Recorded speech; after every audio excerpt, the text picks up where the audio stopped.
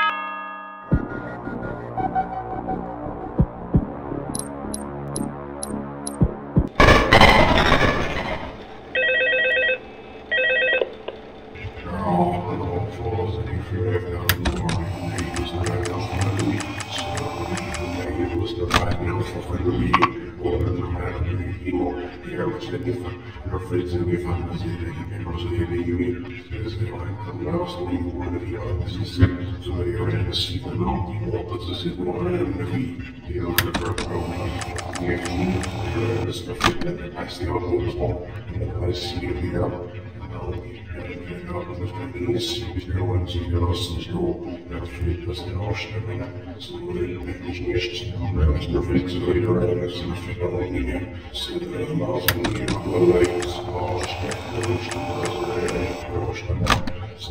serious since how I should ask their face probably if you